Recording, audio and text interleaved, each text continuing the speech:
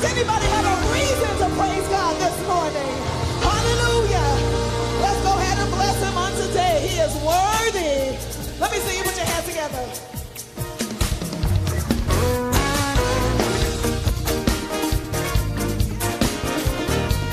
This is a congregational song. We could all sing it together.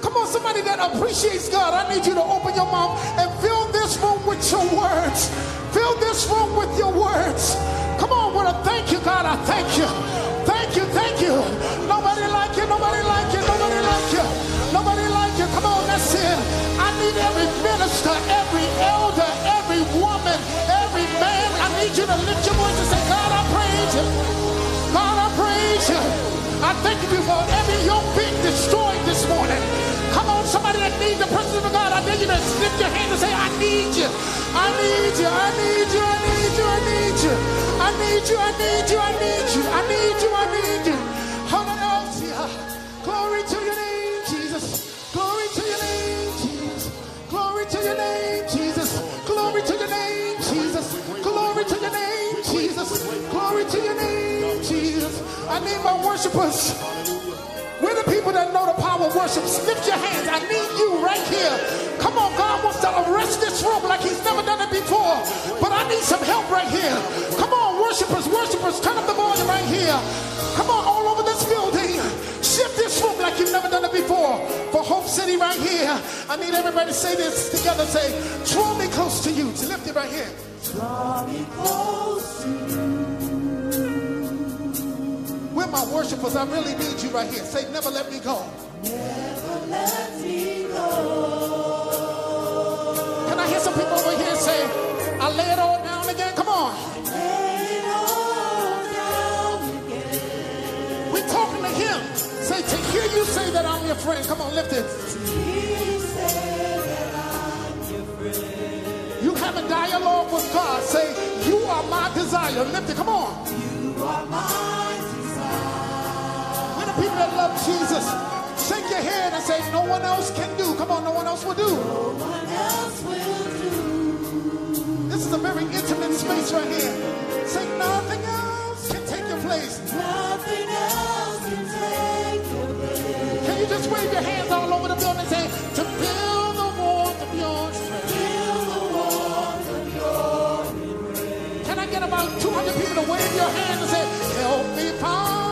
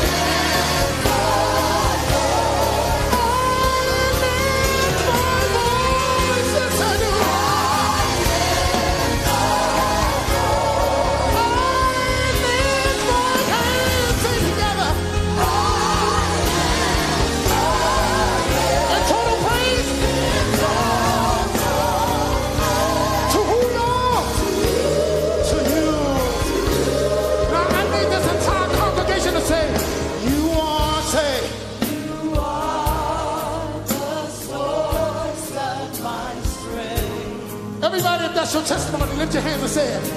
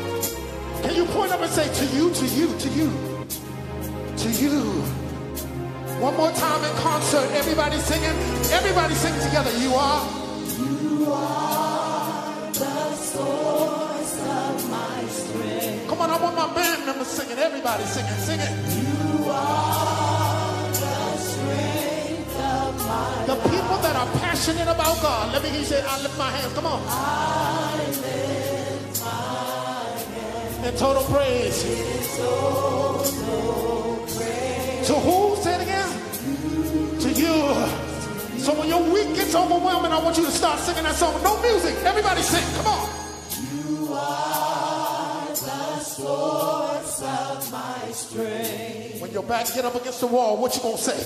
You are the strength of my life. Instead of complaining, what you gonna do? You gonna throw your hands up right here and do what? I lift my hands in total praise to you. Now everybody in the mic, lift your worship. Hallelujah. Lift your worship in the mic.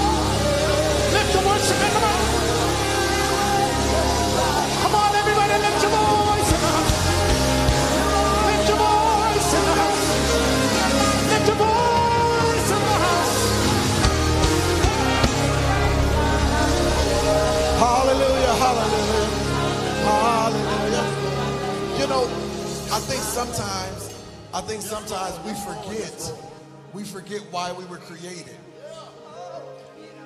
We were created to worship God. I, uh, I told somebody the other day, I said I was called to preach, but I was created to worship.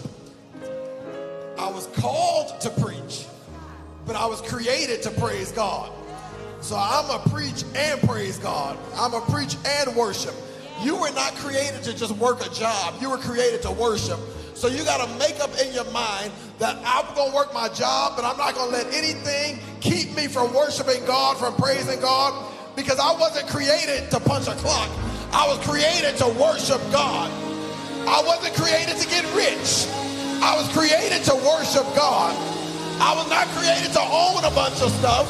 I was created to worship God. Are there about 500 people in the room that can remember why you were created? And take a moment and give God a praise right here. Take a moment and worship Him right here. You got to make up in your mind that I will bless the Lord at all times, and His praises shall continually be in my mouth. No matter what you're dealing with, no matter what you're going through, don't let anything stop you from lifting your hands. Don't let anything stop you from opening your mouth. You from saying hallelujah. Don't let anything stop. Where's the worship in church at? Where's the praise in church at? Let everything that has breath praise ye the Lord. Hallelujah. Hallelujah. Uh. Hallelujah. Hallelujah. Hallelujah. Say hallelujah. Hallelujah. Hallelujah. Hallelujah. Say, God, I praise you. God, I praise you. God, I praise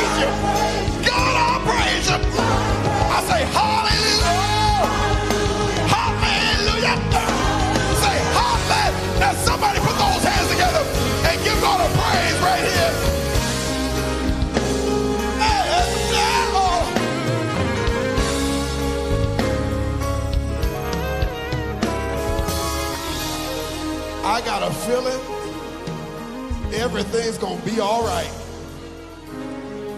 See, the sermon today, the sermon today exposes the tactics of the enemy and what he's trying to do, but also what God is going to do. And I'm just going to remind you today that what the devil meant for evil, God's going to turn it around for your good. Oh, I don't know if you heard me. Look at your neighbor and say, neighbor, what the devil meant for evil, God's going to turn it around for your good. Now, don't say it if you don't believe it. Find somebody on the other side and say, neighbor, what the devil meant for evil, God's going to turn it around for your good. Oh, now it almost feels like Hope City. Find somebody across the room and say, neighbor, what the devil meant for evil, God will turn it around for your good. It's working out for your good.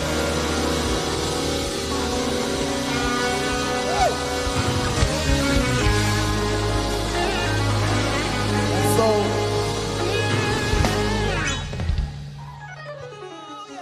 grab your own hand. Just grab your own hand.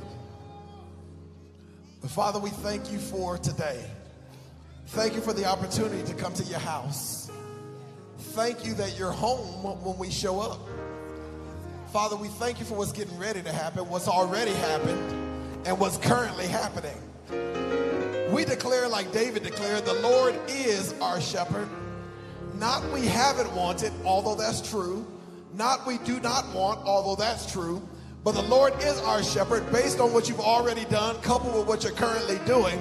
We declare, like David declared about our future, we shall not want.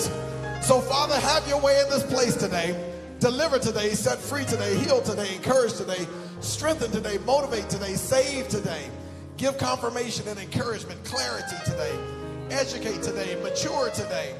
Father, don't let anybody leave the same way they showed up or logged on, but let everybody leave better, stronger, and wiser for having been here today. Your will be done in this service. Give everybody everything they seek, and then everybody everything we didn't even know we needed. Let us leave better as a result of being here today.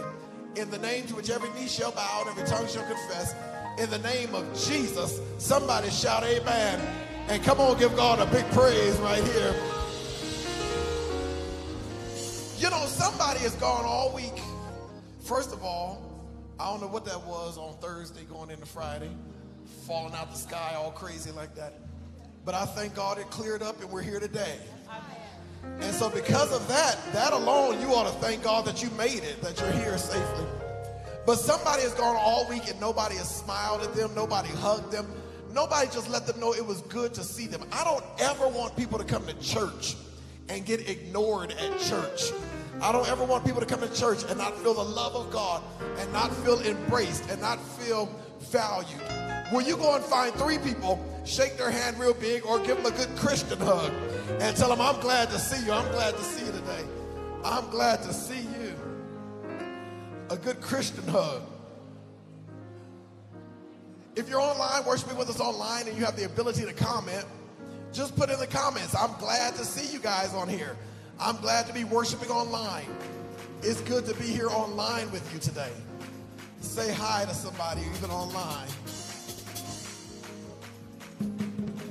Somebody hasn't had a handshake all week,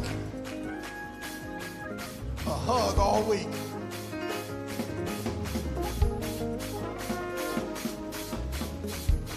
And some people, their joy was affected this week. Their peace was affected this week.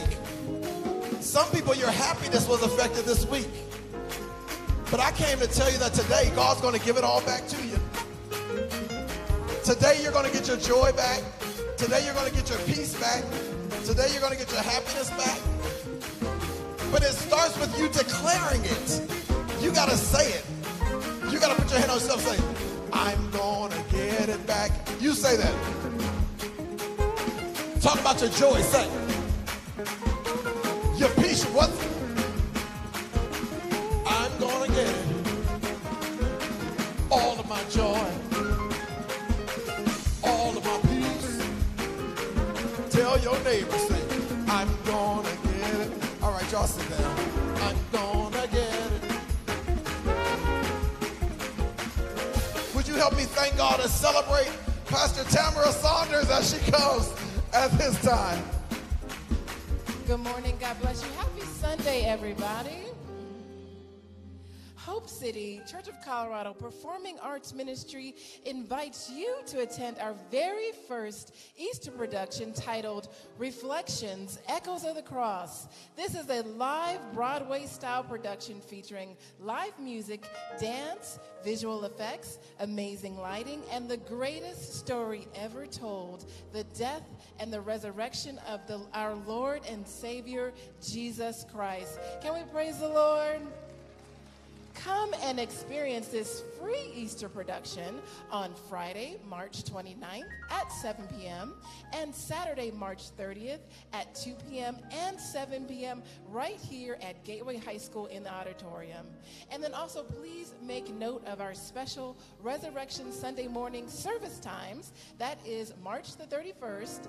Uh, we have three services 8 a.m., 9:30 a.m., and 11:30 a.m. So please invite your friends and family to join you for our very special Resurrection Easter Sunday morning service times. Mark your calendars. We are so excited. Mark your calendars and plan to attend our very first anniversary celebration gala dinner. We are so excited. Can you believe it's been one year since we've been uh, born? We are going to be celebrating on Sunday, April the 21st at 6 p.m. This event will be held at the Hyatt Regency Aurora Denver Conference Center and features a three course plated dinner. This event will be hosted by actor comedian Flex Alexander with a live concert by Shanice Wilson, and DJ Jeb will be playing music to keep the party going all night long. Tickets are $85 and they include parking. Get your tickets now on our website at hopecitycolorado.com. You can click on the gala celebration banner, or you can go to the foyer and purchase your ticket at the gala ticket table after service today. The Winner's Circle Support Group, hosted by Pastor Dave Whitmore, they meet every Monday evening at 6 p.m. And tomorrow's meeting is at the Sec- Central Recreation Center, which is located at 18150 East Vassar Place. This is a Bible based support group that focuses on providing tools needed to help you to continue to overcome and have victory over any cycles or habits that are keeping you from being God's best. And for those that are unable to attend in person, they do have a Zoom option available, and you can join the Winner's Circle support group via the Church Center app uh, to get that Zoom link, or you can stop by the information desk in the foyer. They'd be happy to give you that Zoom link as well. If you or anyone you know has a VA disability question or would like assistance to file a VA disability claim, please contact the church office and schedule a meeting with Minister Cynthia Francis. Hope City, we partnered with a caring and sharing food pantry. So if you or anyone you know is in food in need of food or any other resources, you can contact the church office at 303 361 7007. And if you'd like to become a member of this amazing church, there are two ways you can do that. You can go to our website, which is hopecitycolorado.com. You can click on membership there, or you can go out to the membership table after service, fill out a membership card there, and then they will let you know when our next new members orientation class is. And we're always so excited about our two service time options every Sunday morning at 9 a.m. and 11 a.m. And it's always our pleasure to invite you to our pre service receptions, which begin about 30 minutes prior to each service. So please invite your friends and family to come a little early, join you in the foyer for some hospitality and fellowship, and then come on into service. And our prayer teams, they're available every Sunday morning to pray with you after each service. They would love to touch and agree with you in prayer. You can meet them out in the foyer. Also, you can uh, always submit a prayer request online 24 hours a day, seven days a week. Our intercessors are praying over those prayer needs. Or also, you can join them every Tuesday evening at 7 p.m. for Hope City Prayer Circle Live, which is on Facebook. And stay connected to our website, hopecitycolorado.com, our uh, Facebook and our Instagram pages throughout the week. We're going to be updating those with lots of information. We have so many things going on in March and April, April so you're going to want to stay connected. Also, check out our social media and share today's live stream. We're streaming like right now. We're streaming live to our Facebook page. We're streaming live to our YouTube channel, and we're streaming live uh, to our website right now. You know, there are many ways that you can sow into Hope City, and during the offering portion of today's service, one of our amazing ushers would love to give you an offering envelope. Also, there's a free app in your app store that I like to use, and many of you like to use. Um, it's called Givelify. That's G I V E L I F Y. You download it one time, you set it up that one time, and then you're able to sow into the church um, throughout the week. Also, we do have an official Venmo and an official Cash App. Um, also, you can always uh, use the square link on our website, or you can mail that contribution in. Just make sure you're mailing it into our mailing address. It's always our pleasure to welcome our first time guests. Uh, if it's your first time streaming with us, we just wanted to say welcome and thank you, and just send us a quick email to info at hopecitycolorado.com so we can stay in contact with you. But if you would help me welcome our first time in person guests, will you help me welcome Mr. Burke Buckham, Annette Moore, Autumn Pham, Lua Asnaga, uh, Rebecca Kidd, and Marcus Moore, and Velma Brooks from Windsor Hills, California. If it's your first time and I didn't say your name, it's only because I didn't get a first time guest card from you. But you can still go out into the foyer after service. You can fill out that first time guest card. They would be happy to give you a first time guest gift, and it'll give us an opportunity to welcome you in a more personal way this week. But all my Hope City family, help me thank God one more time from all of our first time guests. God bless you this morning. Who's from Windsor Hills? Oh, yeah. Did they tell you already? I was born and raised in Windsor Hills. I lived right there. I got to tell everybody this story. Y'all just hang on a minute. Let me tell you something real fast. You know Windsor Hills Elementary School? I went there fourth grade, fifth grade, sixth grade. You walk out the front of school, you walk down the street. On the right hand side, there's a church. Cross the street, so you cross over Northridge. There's the first house on the corner. The second house, I was born and raised in that house. And my mom still lives there with her new husband.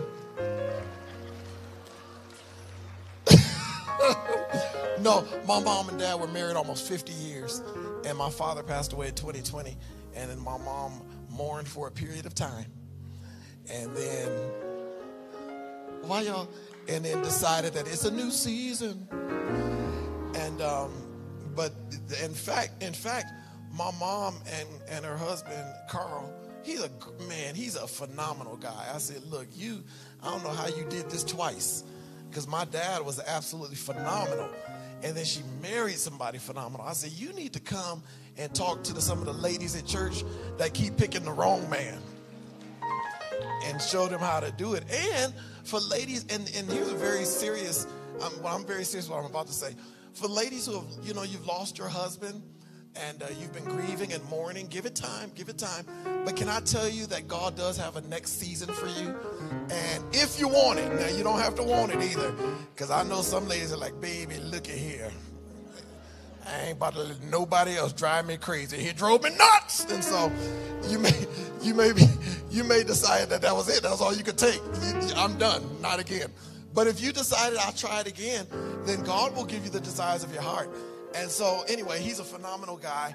Um, his name is Carl, and his dad's name was Carl. And I said, "Oh, so you're Carl's Jr." And so he said, um, I guess so. So anyway, uh, they'll be here um, the weekend. Bishop Owens is here on April the seventh. They'll be here with some other family and then some other people flying in from out of town. So it's going to be awesome. But welcome, welcome, welcome, welcome. I'm glad to see you here, and I'm glad you came. You're sitting with my folks, so I'm glad to I'm glad to have you here. Um, the ushers who are phenomenal have these tickets that we want to give you.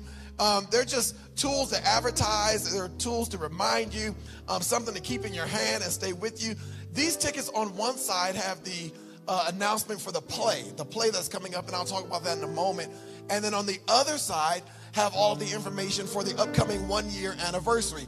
I want everybody to take at least one, but here's the thing if you're looking to invite someone, but you don't really have the words to say, you don't know how to do it, or you do have the words to say, you do know how to do it, you just want to make it easier, or you want to give them a reminder, take as many as you need. If you want some, raise your hand. The ushers will put them in your hand. God bless you. Thank you. Thank you.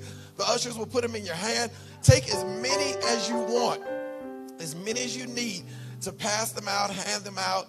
Now, don't get in trouble putting them on cars at your job and all that kind of stuff. And they calling up to the church asking who did it. I'm going to say, I don't know nothing about that.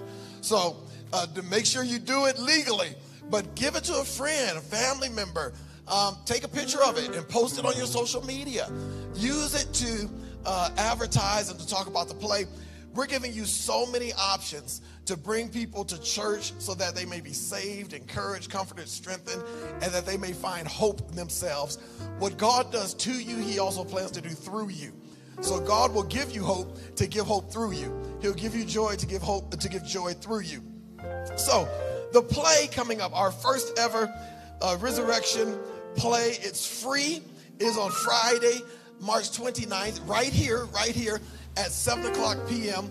And then again on Saturday, twice, 2 p.m. and 7 p.m. All of those times are right here. I did get a chance to see a clip of one of the rehearsals where uh, Peter is walking on water and he begins to sink, and Jesus pulls him up out of the water. It is phenomenal how they've done this, phenomenal how they've pulled it off. The creative genius of Pastor Chris Ford and what he's done with this drama ministry is just absolutely priceless.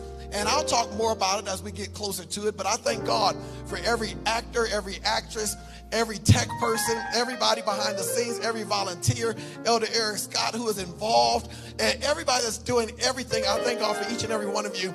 It's going to definitely be a memorable tool to connect people to Jesus Christ. And so take one of these and invite them to come out to the play.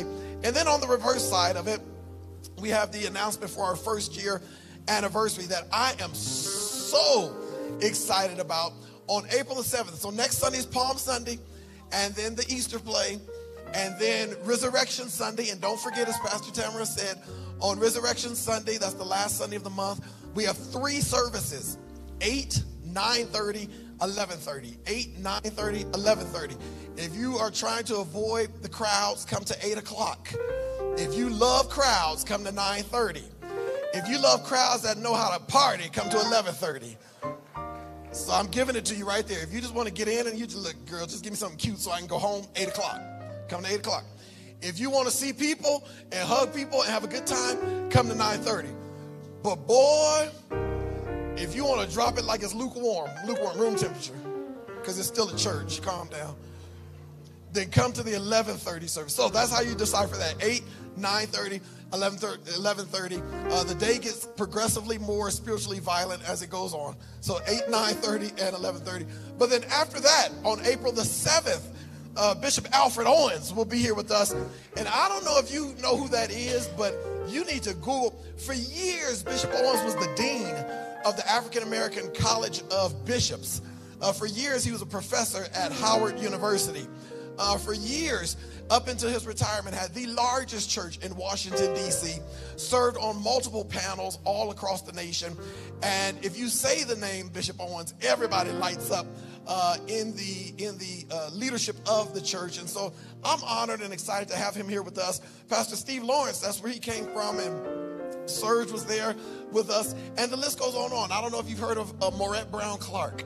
Uh, Maurette Brown, she was the children's ministry uh, the children's minister of music when I was the drummer there.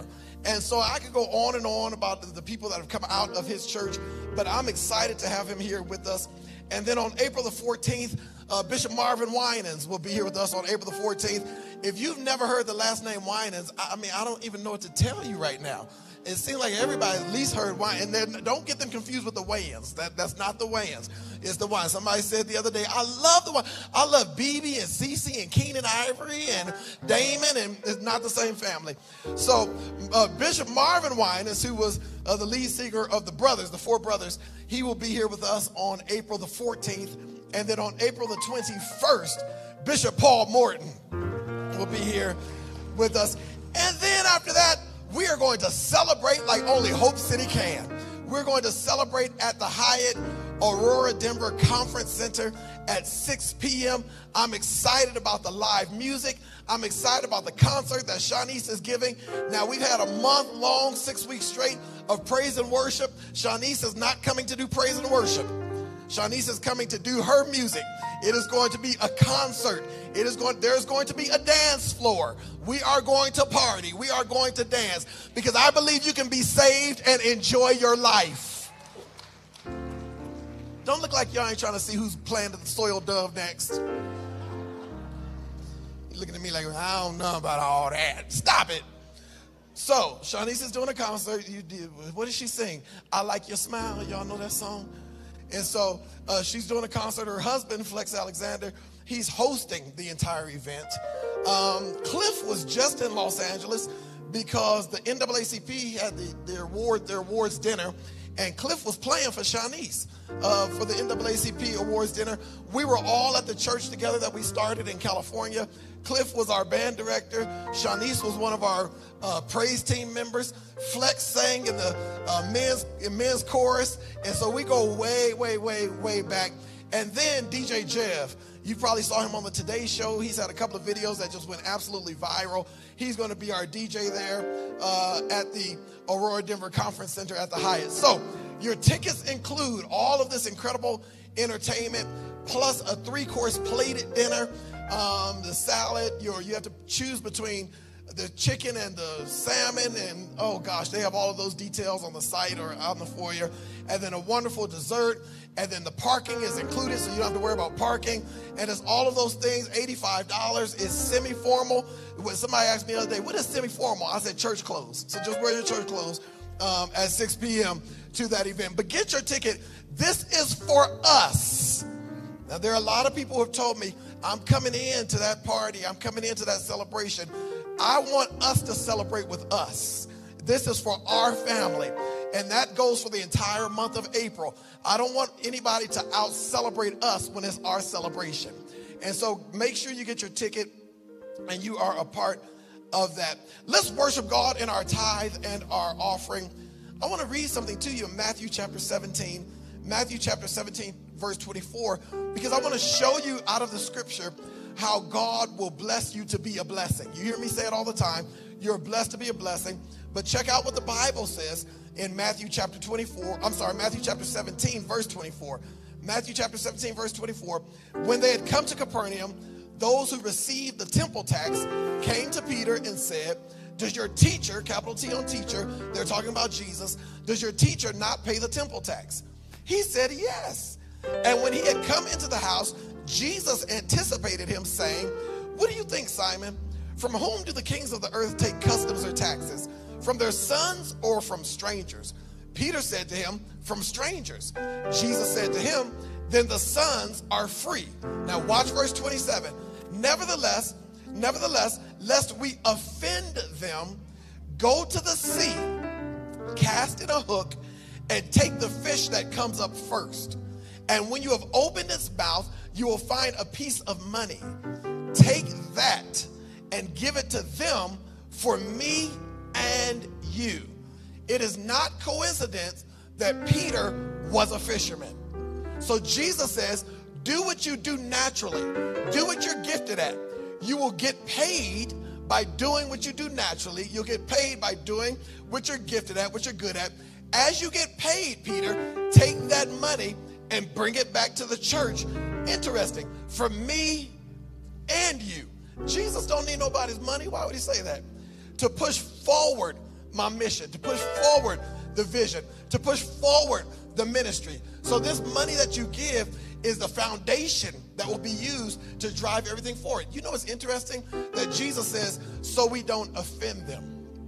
Can't help but wonder if it is offensive that God will bless you and you still not give back to God. That God would bless you and it's still hard to just give him back a piece of what he's given to you. So the Bible says, bring all the tithe into the storehouse. It's just a piece. Every time I'm financially increased and blessed, God says, just take a piece of that tithe, 10%. Take 10% of that and give it back to the house. He says, see if I don't open up the windows of heaven, pour you out blessing, you don't even have enough room to receive. I'll rebuke the seed stealer for your sake. One scripture says that a man's gift makes room for him. That's not your talent, that's your seed being sown. So as you give today, I want you to recognize two things. You only have what you have because God gave it to you. If it were left up to the devil, you'd be broke, busted, and disgusted. The devil don't want you to have nothing. I always laugh. People say, uh, you know, God will speak to them to give, and they'll say, the devil is a lie. The devil would never tell you to give anything in church. He would never tell you to give to God. Because the enemy knows, the devil knows, the surest investment you could ever make is not the lottery, it's not a raffle.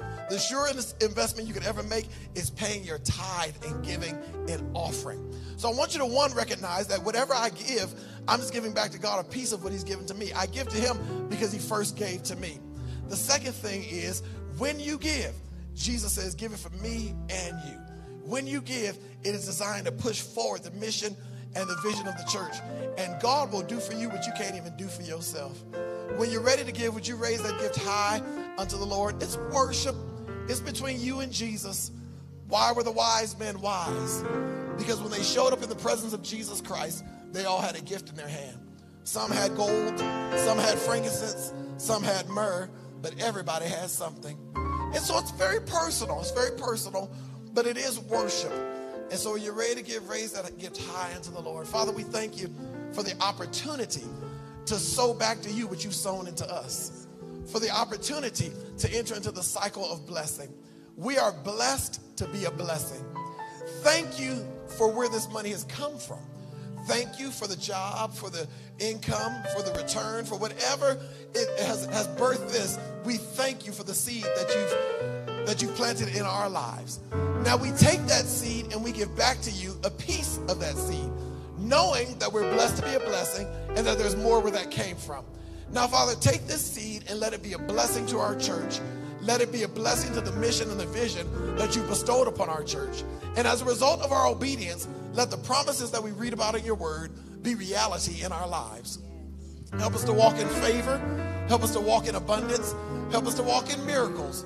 Bless us, Father, spiritually. Bless us naturally, emotionally.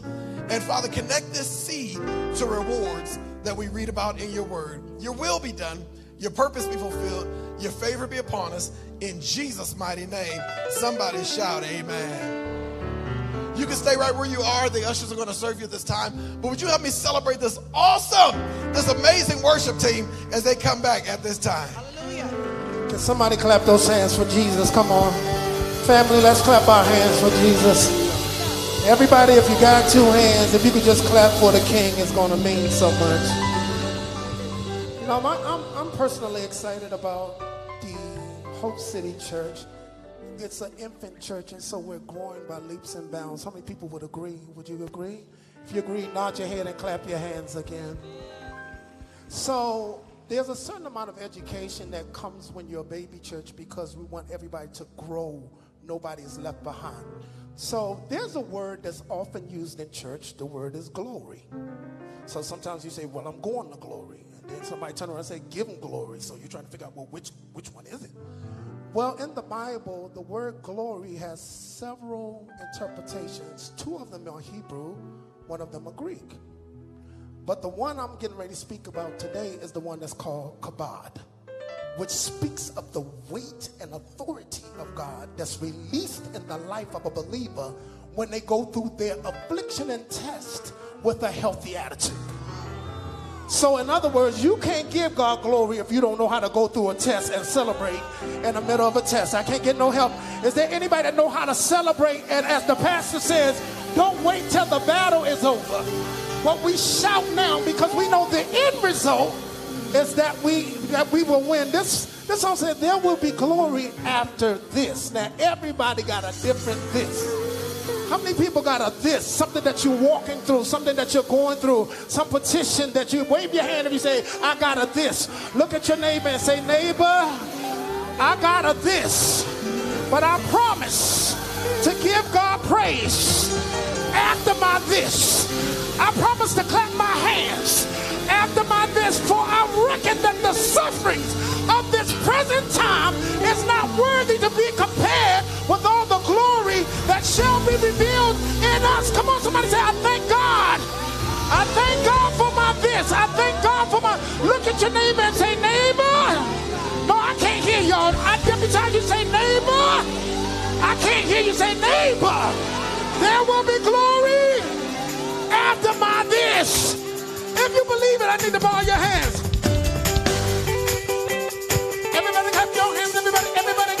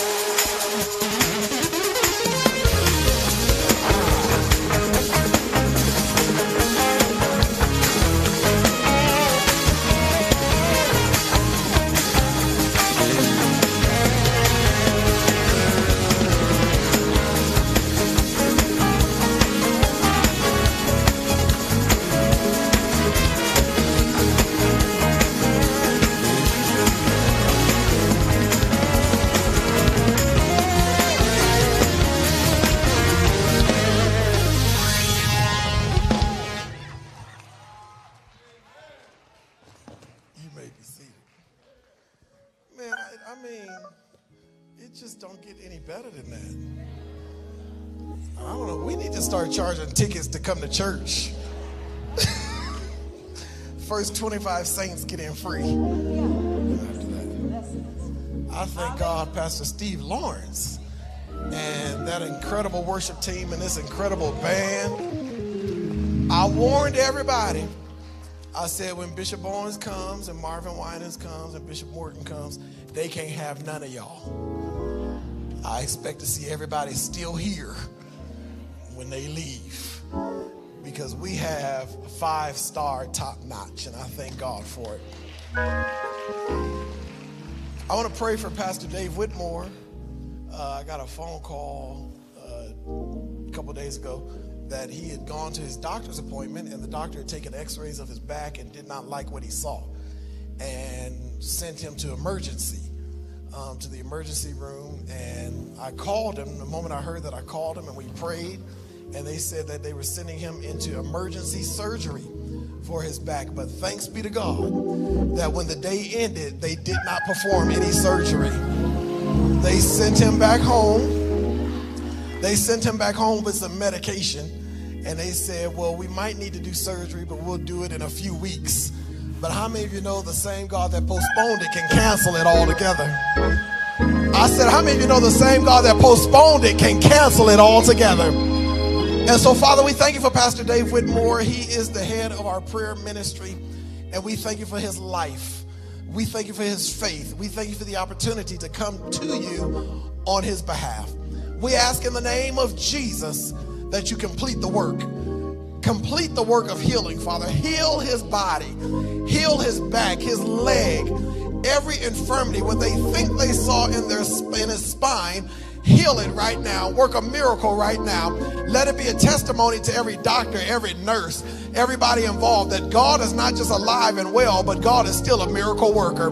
Father, we pray in the name of Jesus that you grant a miracle to Pastor Dave Whitmore's body, that you completely turn it around. Let him feel a healing going through his body right now, a complete turnaround and a miracle in his body right now. And we command his body to be thou made well, be thou made whole, and be thou healed in Jesus' name. Somebody shout amen. And come on, give God a praise right here. You see him every Tuesday night with the prayer team on the prayer circle online as well. And so we are praying for him. Pastor Steve, we hadn't even talked this week, and yet the song they sang, There Will Be Glory After This, is just confirmation of the word that God has given me for you today. Acts chapter 9, Acts chapter 9, verse 36. Acts chapter 9, verse 36 at Joppa, there was a certain disciple named Tabitha, which is translated Dorcas. This woman was full of good works and charitable deeds, which she did. But it happened in those days that she became sick and died. When they had washed her, they laid her in an upper room. And since Lydda was near Joppa, the disciples had heard that Peter was there, they sent two men to him, imploring him not to delay in coming to them. Then Peter arose and went with them. When he had come, they brought him to the upper room. And all the widows stood by him weeping, showing the tunics and garments which Dorcas had made while she was with them. But Peter put them all out and knelt down and prayed. And turning to the body, he said, Tabitha, arise. And she opened her eyes. And when she saw Peter, she sat up. Then he gave her his hand and lifted her up. And when he had called the saints and widows, he presented her alive. And it became known throughout all Joppa, and many believed on the Lord. So it was that he stayed many days in Joppa with Simon, a tanner. A tanner is a person that makes leather, not somebody that makes your skin darker. I want to talk from the subject for the next few moments the journey to recovery. The journey to recovery. Um, I want to make sure you know that no matter what you're going through, no matter what you're dealing with, you coming out of that. Um, yea, though I walk through the valley of the shadow of death. It's not really death, it's the shadow of it. I will fear no evil, for thou art with me. I want you to understand that God did not bring you this far just to bring you this far. this is a test for your testimony. This is part of the book that tells your life story. So don't ever judge your entire book by the chapter you're currently on. I want you to know that no matter what you're going through, it's going to be okay. We have here both the Hebrew name Tabitha and Greek name Dorcas of a woman who was known as a disciple of Jesus Christ. Not only was she a disciple of Jesus Christ, but she was a woman who worked the potential that was placed on the inside of her. She displayed her love by giving to others through the working of her gifts. Let me just say while I'm thinking about it too many of us are neglecting our God given gifts and God given talents that would be a blessing to the people around us if we would just simply operate in them. She was a blessing simply because she did what came natural to her. See, your blessing and your ability to be a blessing is directly connected to what you are naturally good at.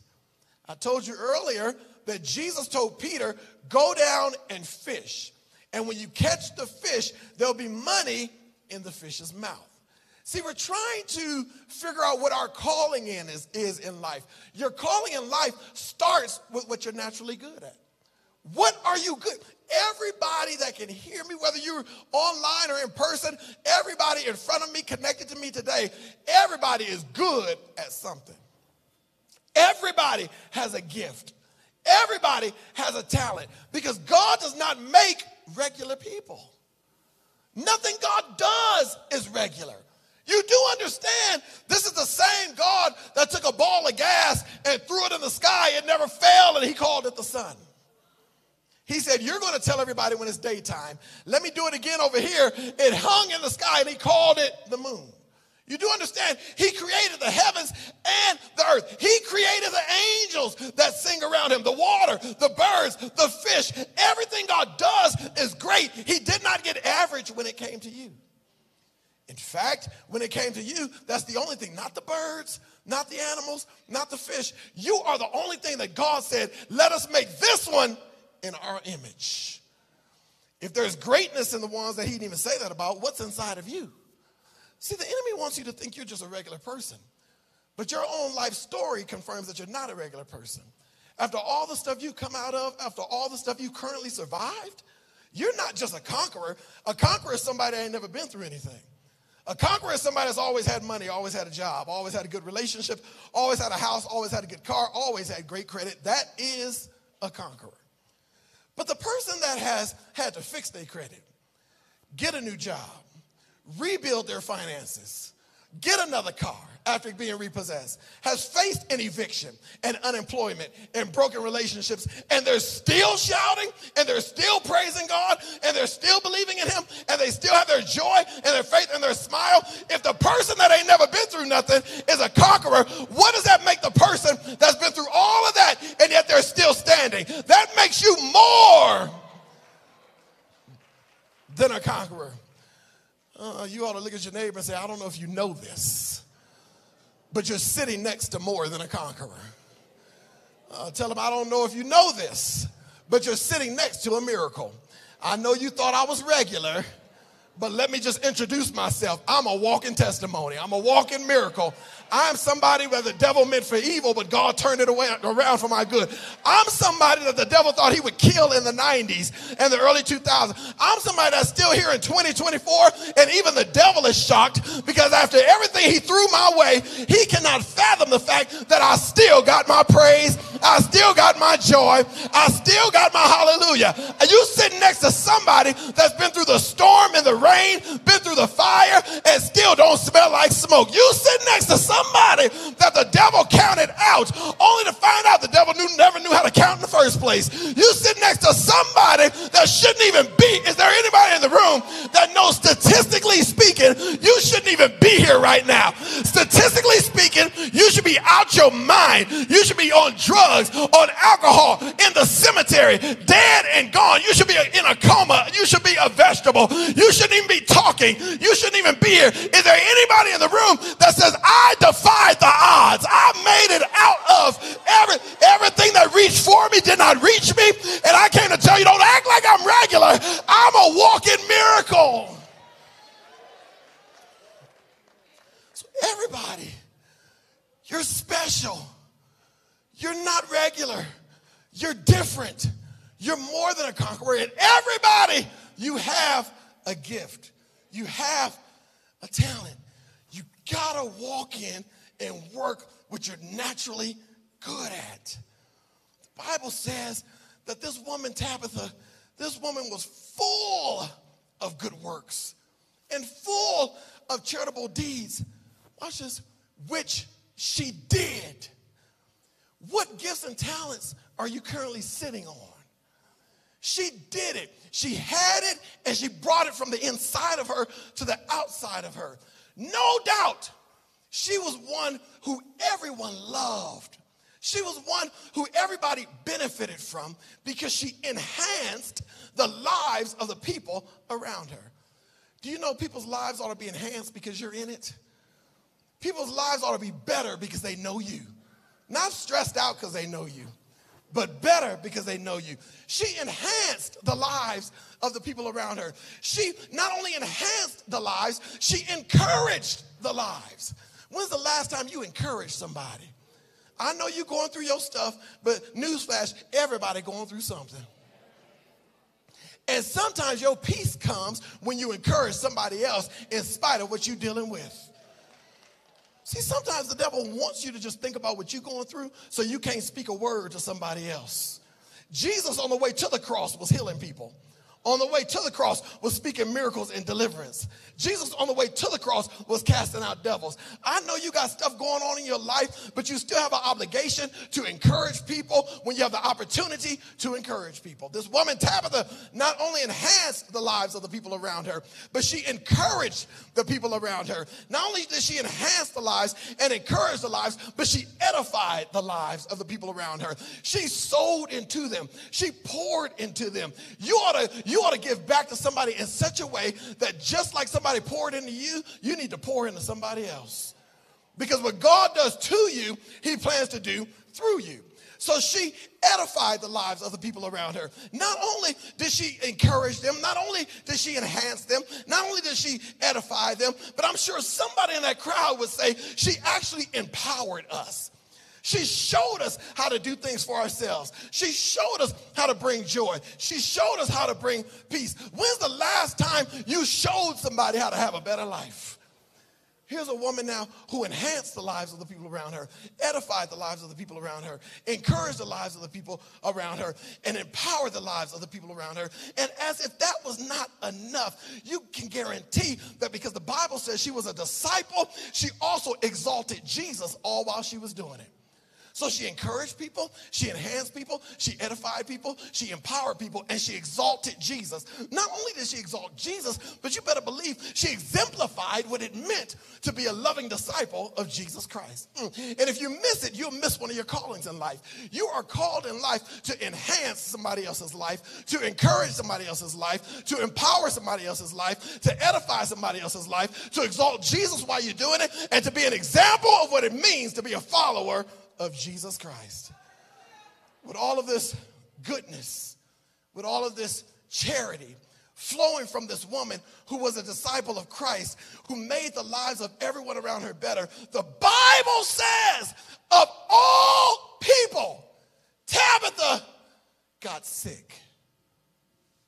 Of all the people around, of all the people who could have gotten sick, Tabitha got sick, and not just not just sick, But the Bible says, of all the people around, Tabitha got sick and died. Can I just say this while I'm thinking about it? This woman who was a disciple of Jesus Christ, who made tunics and garments for everybody, who was a blessing to the widows, this woman who was known for her generosity and love, who walked in the fullness of her potential, who walked in God's perfect will, who walked in her calling, this woman dying is proof that your title, your gifts, your talents do not save you from the trials of life. It is a misconception to think that when you have Jesus, you don't have any more problems. Let me tell you something. When I have Jesus, I still have problems. But the big difference is this I don't have them all by myself. In fact, I have battles, but when I have Jesus, the battle's not even mine. The battle is the Lord's. So I can keep moving forward and trust God to be God because I have him as my God. The Bible says that she she dies. But y'all, check this out. This is the first thing that stands out to me. Did y'all notice that she died? They washed her body. Don't miss it. They put her in the upper room. But did you notice they never prepared or planned for a funeral? They washed her body, they put her in the upper room, but they never made plans for a funeral. Hmm. See, the problem with too many of us is that we have such a negative disposition in life that we will miss out on experiencing miracles that God is setting us up for. Because too many of us, we always assume the worst. Well, it was good while we had her. Well, that was fun. Well, you ever met anybody that the slightest little thing go wrong and they go all the way there? I guess I ain't gonna never be nothing. What? Because you didn't get this job? Well, I guess God just don't love me. Why? Because you have to figure out how to budget your money and pay one bill? I guess I just ain't gonna ever find anybody. I just ain't gonna ever have a mate. Why? Because you broke up with one person? You ever met that person? Not you. I'm saying, have you ever met that person? She dies. Don't, don't miss it. She dies. I mean, it don't get any more final than death. This side of life. She dies, and nobody says, well, who gonna sing the song? Well, who gonna call the funeral home? Who gonna preach the eulogy? You know, we should do families, friends, and, and neighbors. That's what we should do on the program, three minutes each.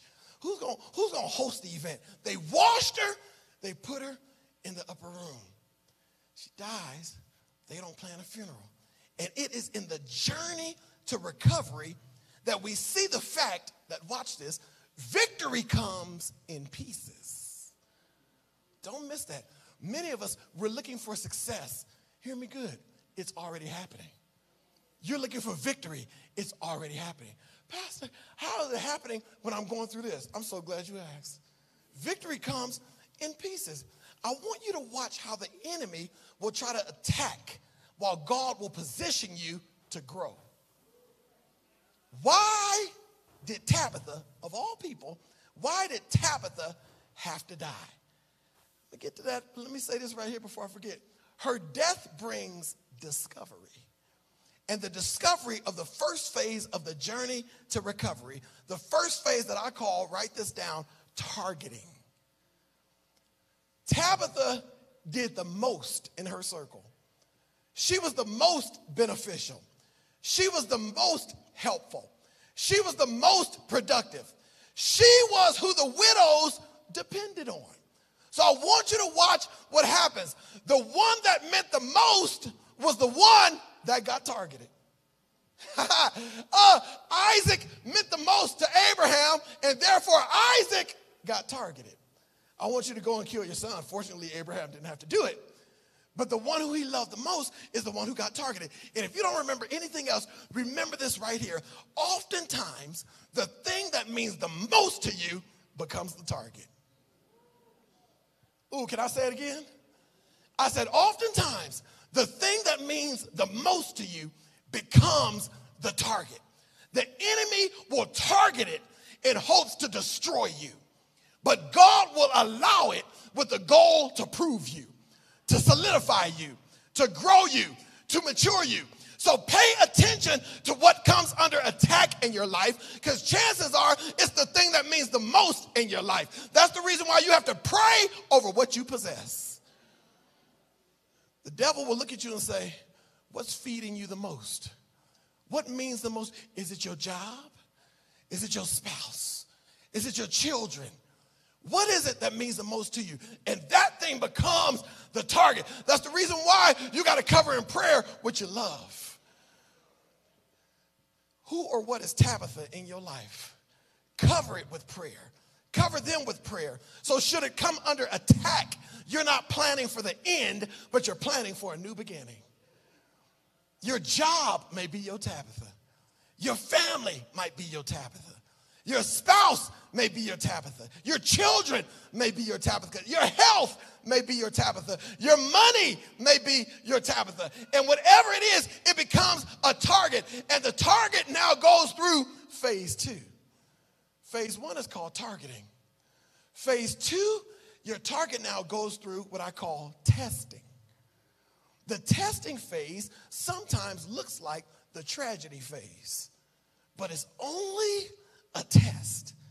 Things seem to look worse before they get better, just to show you how big God is in your life. Oh, I grew up in Los Angeles, California.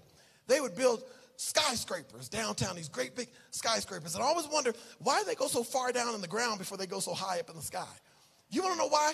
Because the further down they go, the higher up they can go. LA is known for earthquakes.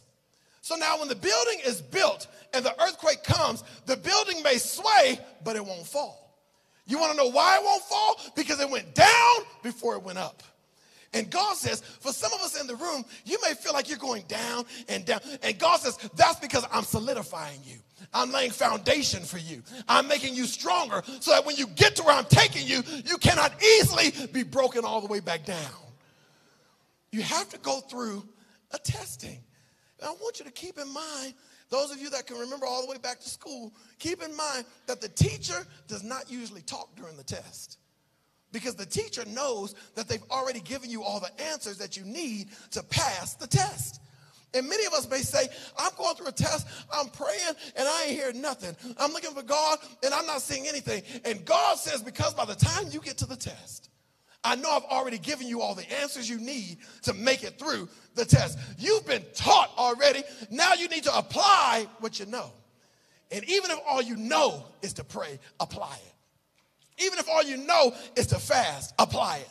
Even if all you know is to wait, apply it. Even if all you know is to trust God, apply it. Apply what you can, and God will supply what you need.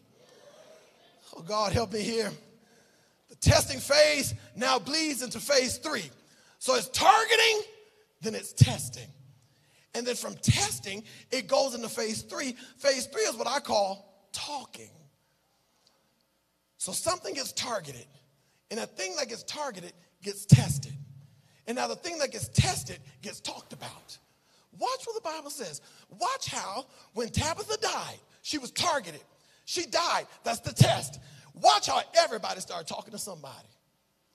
The disciples that were in Joppa, they started talking to two men. They sent two men to go and talk to Peter. When Peter got there, the widows started talking to him about Tabitha. They started showing him the tunics. They started showing him the garments. They started talking about how much she meant. They started talking about how wonderful she was. Everybody was talking to somebody. But the Bible does not say that Peter talked back to the widows. The Bible says that while the disciples talked to the men and the men talked to Peter and the widows talked to Peter, the Bible says that Peter put them all out and Peter started talking to God. Oh, it's about to get good in a minute. See, sometimes, let me say this while I'm thinking about it. Sometimes you got to learn how to put people out who ain't helping you. You sitting around crying and I'm believing God for a miracle. You sitting around reminiscing, I'm believing God for what's next.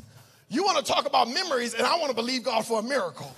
And sometimes people don't mean any harm, but their faith is not where you need it to be to get what you need from God. So Peter says, I appreciate what y'all showing me. I thank God for your memories, but it ain't over. And because y'all not gonna pray with me, but you're gonna sit here and cry all over me, you got to get out. He put them out, and the Bible says, after he put them out, he started talking to God. See, during your testing phase, oh, I feel the Holy Ghost. During your testing phase, it is important who you talk to. You can't talk to everybody while you're going through it. Because some people will talk you right out of what you believe in God for. Some people will convince you that the best thing to do is to make lemonade when life has your lemons. But what if I don't like lemons? What if I don't want lemonade? Some people, they don't mean any harm, but they'll get you to get comfortable in a place that's designed to be your testimony. They'll get you to get comfortable. Well, it just is what it is. Well, just make the best of it. Well, just do what you can. The devil is a lie. You need some friends around you that say, oh no, it ain't over until God brings you out of this. This ain't the end of your story. We're not about to sit up and glorify how you're living with high blood pressure. We're not about to sit up and glorify how you're living with diabetes. We're not about to sit up and talk about your heart attack. We're about to say, in the name of Jesus, God's getting ready to turn my health around because I got too much ministry in me, too much of an anointing on me, too much of a call in me, too much of a bright future and a bright destiny. I'm not going to live with high blood pressure. I'm not going to live being a diabetic. I'm not going to live live with cancer. I'm not going to live with these things and just take it as it is, as if this is what I need to settle for. My God is a healer. My God is a provider. My God is a waymaker. You need some people around you that will cast out the spirit of infirmity, the spirit of sickness, and the spirit of it matters who you talk to.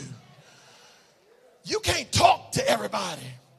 It matters not just who you talk to, it matters what you're talking about. Songwriter says, have a little talk with Jesus. Tell him all about your troubles. He will hear our faintest cry and answer by and by. Feel a little prayer wheel turning. Know a little fire is burning. Just a little talk with Jesus makes it right. Watch what starts to happen. Peter starts to talk to the right person about the right thing. And as Peter begins to talk, it transitions us into our fourth phase. The first phase was targeting, the second one was testing, the third one was talking. But the fourth phase, as Peter began to talk, things began to turn. So the fourth phase is the phase that I call turning. The more Peter talked to God, the more God turned his situation. The more Peter gave it to God, the more God spoke to his situation. I need you to understand that the more you talk, the more your situation turns. Now, hear me good. That's both good and bad. Because if you start talking about negative things, your situation gets worse. You start talking about positive things, your situation gets better. My husband is crazy. He's just a little bit crazier today than he was yesterday. I guess I ain't gonna ever have any money. You just a little bit more broke today than you were yesterday. Don't nobody wanna hire me. You going longer and longer without a job. I guess it just is. Watch your mouth. The Bible says that death and life are in the power.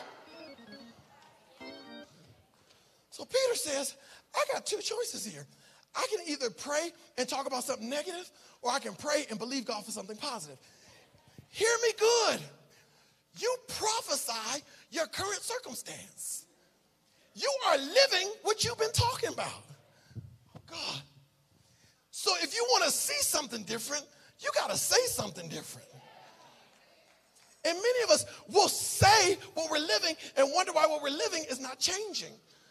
Because it's what's coming out of your mouth that is breathing life into your atmosphere.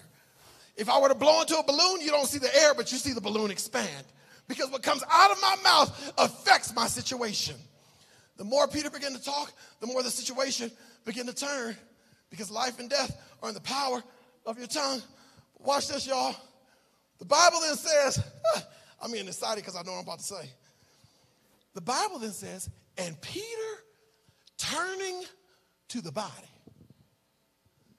which tells me that there was a period in there that while he was talking to God, he was not facing the body. Sometimes you cannot stare at what you believe in God to change. Because if you stare at what you believe in God to change, it will affect your faith. Because its current situation does not look like what's coming through your prayers. Oh, God, help me here. Sometimes you can't stare at what you're praying for because it doesn't look like what you're believing for. And so many of us, you keep staring at your paycheck. God, when you gonna do it? When you gonna change it? You staring at your spouse. When you gonna fix them? When you gonna change them? You staring at your kids. You staring at your doctor's report. You're staring at your credit. You got to learn how to walk away from some of that stuff. Get in your prayer closet, close your eyes, and stare at your future. Oh, it's about to get good. The Bible says he then turned to the body, and when he turned to the body, my brothers, my sisters, he did the craziest thing I've ever seen anybody do. This dude actually spoke to a dead body. He looks at Tabitha, he says, Tabitha, get up. Tabitha, arise. Which tells me you got to learn how to talk in the future to your present situation. Tabitha couldn't say anything back. But Peter teaches me that whatever you do, don't let what's silent silence you. Tabitha, you can't say anything back to me. Tabitha, you're not turning. Tabitha, you're not changing. But I'm going to keep speaking until it happens. I'm going to keep declaring it until it gets turned around. Now I feel like preaching, y'all. Look at your neighbor and say, neighbor, it might be the same today, but keep praying for it. Keep looking for it. Keep believing for it because it might be silent today. Oh, but the widows were just crying. The Bible lets me know that weeping may endure for a night, but joy is coming in the morning. And the Bible says, when Peter looked at her, he said, Tabitha, arise. The Bible says she opened her eyes. And then the Bible says she saw Peter. And the Bible says he stretched out his hand and he lifted her up. Don't read it too fast. She woke up. She sat up. She got up. Let me say it to this side. She woke up. She sat up. She got up. Uh, let me say it up there. She woke up. She sat up. She got up.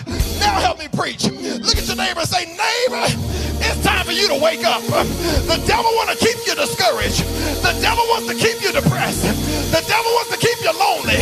But God is still God. God is still a healer. God is still a waymaker. Wake up and see your past. Hasn't he already done enough? Hasn't he already brought you out of danger? Has he already brought you out of trials?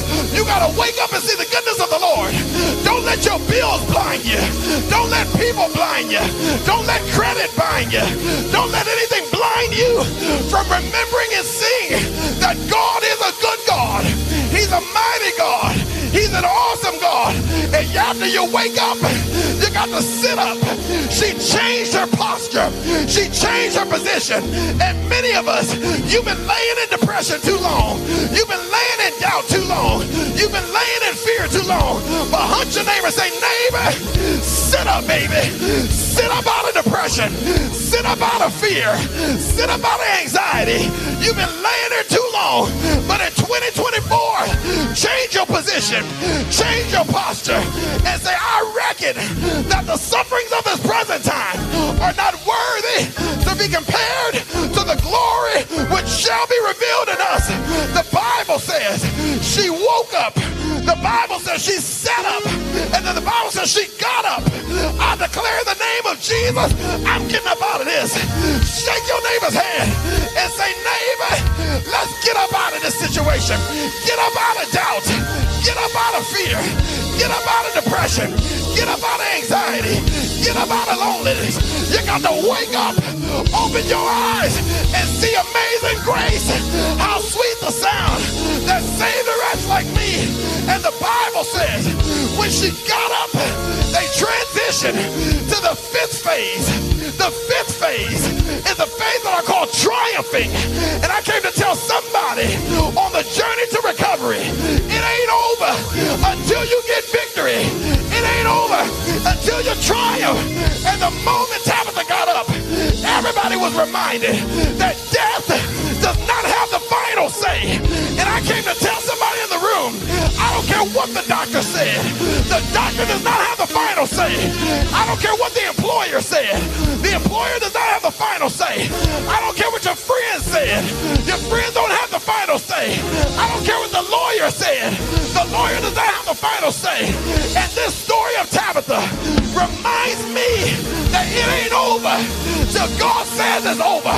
And the Bible says that Peter now stretched out his hand, got her up out of the bed, called everybody back in the room, and said, Meet your testimony. By the way, that's phase six. Phase one was targeting. Phase two was testing. Phase three was talking. Phase four was turning. Phase five was triumphing. But somebody, God says, get ready to enter into phase six. And phase six is testifying. I decree and I declare that the days are coming where you're going to say, look where the Lord has brought me from brought me through danger, brought me through trials. But can I tell y'all what makes me want to shout? The Bible says that it became known throughout all of Joppa, the testimony of Tabitha. But here's what makes me want to shout. Tabitha was dead while it was happening. Tabitha was laying there while it was happening. So she didn't even know all the details to her testimony. Look at your neighbor and say, neighbor, my testimony is so big. I don't even have all the details. All I know is that there was a period where I was out of my mind. There was a period where everything went black. There was a period where I felt dead and gone. But shake your neighbor's hand. Say, but I'm back now, baby. I'm back now. The Bible says that while Tabitha was dead, somebody was praying. Somebody was believing. Somebody was trusting God. That's the reason why you gotta guard your friendship circle. Because when it seems like the devil is winning, you need somebody that's gonna pray for you. When it seems like all hell is breaking loose, you need somebody that's gonna come to your rescue and talk to God. The songwriter said, somebody prayed for me, had me on their mind, took some time and prayed for me. They didn't have no doubt the Lord would bring me out. I'm so glad somebody prayed for me. Can I give my own testimony? Giving honor to God, who's the of my life. I thank and praise the Lord that there was a period about a year ago when I thought it was over. I was about to lose my mind, about to go crazy, laying down in sorrow, laying down in discouragement, laying down in depression. But while I blacked out, somebody was praying, somebody was trusting God, somebody was believing, and all I can tell you is that love lifted me when nothing else could help. Love lifted me. I'm sorry, y'all. I know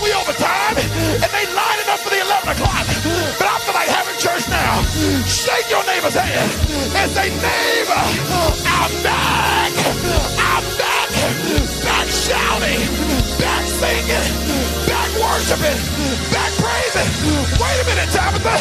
If you made tunics before you went through this, and everybody talked through this, what you gonna make now? What you gonna do now? Now that you've been through what you've been through, look at your neighbor and say, neighbor, I was good before my test. I was good before my trial. But now that I come out, wait till you see what I do now. You ain't seen nothing yet. I was blessing you before I had a story, before I had a testimony, before I had a trial. But now, on the other side, wait till you see how God does it. Look at your neighbor and say, neighbor, it's going to be all right. And the Bible says that all of Joppa heard of the story and people began to believe in the Lord. Somebody is going to give their life to God when you come out on the other side. Somebody is going to trust Jesus when you survive. And the testimony looks like this. Let me tell you this, I'm a let you go. I've been restored. I've been renewed. I've been refreshed. I've been reset. I said, I've been restored. I've been renewed. I've been refreshed. I've been reset. I thank God for the targeting. I thank God for the testing. I thank God for the talking. I thank God for the turning. I thank God for the triumph. But I got a testimony.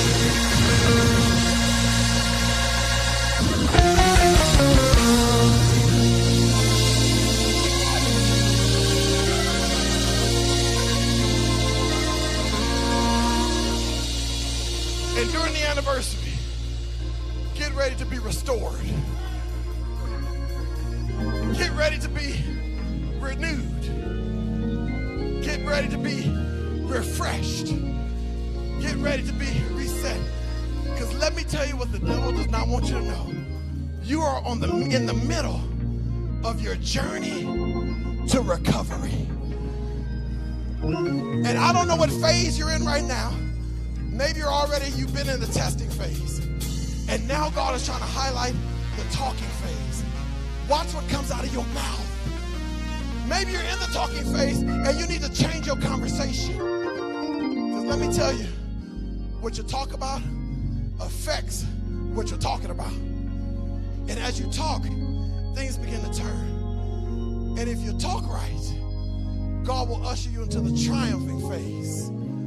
And after that phase, it's the testimony phase. You go through to bring somebody else through. Oh, God, help me here. Grab the hand of the person standing next to you. Father, we honor you. We magnify, we adore, we appreciate you. Thank you for the opportunity to see what happened with Tabitha, Peter, the widows, all the disciples, and to use that to grow us in our knowledge of how you function and operate, and even what the devil would mean for evil. Help us to have clear knowledge, revelation of what's being targeted in our lives. Oh, he's attacking my job because he's trying to tear up my family. So, Father, help us to cover in prayer the target. Help us to know that sometimes that target goes through a testing, but it's only a test. And as we're going through the testing of our target, guard our mouths and help us to watch what we talk about. As we go through the testing of the target and we're talking, help us to see that it's turning. And as it's turning, don't let us wait till the battle is over. Let us shout right now because it's ending in triumph. And on the other side of the triumph is our testifying. Somebody will know what we made it out of. Now, Father, we ask that you take us from this place, but whatever you do, don't take us from your presence. Keep us and cover us and bring us back at the appointed time, ready to praise, worship, and honor you together. In Jesus' mighty name.